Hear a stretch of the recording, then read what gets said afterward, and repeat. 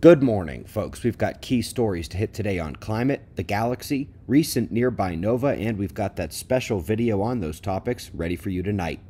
We're starting with our star at spaceweathernews.com, and we find the last day brought the large southern coronal hole extension. It's transequatorial, and it's a beast. No further eruptive behavior from the sun, but those eruptions we saw yesterday are a bit easier to see on satellite, and the Enlil spiral is updated.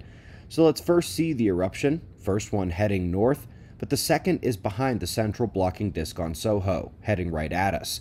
On stereo with Earth off to the right, you can see the first one go up and the trailing plasma releases happening along the equatorial zone. That's what's coming our way. Enlil spiral shows impact Sunday night.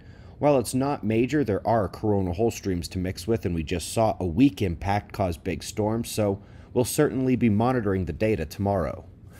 Quick look over to India, where models disagree about the track of the cyclone forming off the coast. One model has it taking on their western coastlines, while the other has it shifting further west and then north to impact the Middle East. We'll see over the coming days.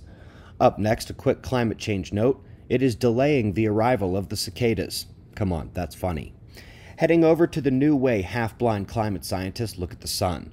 From TSI to TSIS. The idea is that you get to look at different wavelengths of irradiance now, not just the total, and while this is an excellent step towards identifying the greater impact of EUV and X-rays via their ionospheric excitement, it's still just about light. And when you get a massive sunspot group pounding you with flares and CMEs, it shows up in the climate data as a drop in solar energy, because they don't factor the particles or magnetic field couplings. It is the greatest of all failures in climate attribution models, which you can learn more about in our climate playlist linked right below the video. The Atacama Cosmology Telescope has delivered the best observations of the magnetism in the galactic center. The diagonal fields that dominate every view before have given way to the vertical north-south central jet. We can see the wavy torus around the central jet as well, and we also notice the plasma shell around the torus, fatter on the sides. That's an Easter egg for veteran viewers of electromagnetic and plasma theories. Those fat bits are like the circles on either side of the stick man.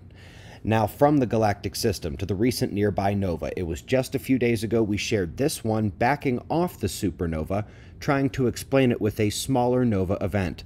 We still argued their kilonova would have destroyed the Earth, but the solar micronova would not. And today we see another in that same vein, also saying it's less likely to be a supernova. Folks, these are the key aspects of tonight's special video the character of the galactic system, what it does to the Sun, and the evidence that it is our Sun capping the crescendo on the 12,000 year cycle. And we'll go over a lot of that detail this evening.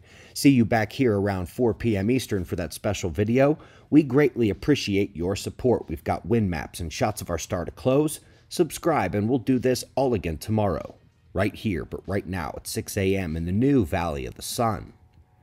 Eyes open, no fear. Be safe, everyone.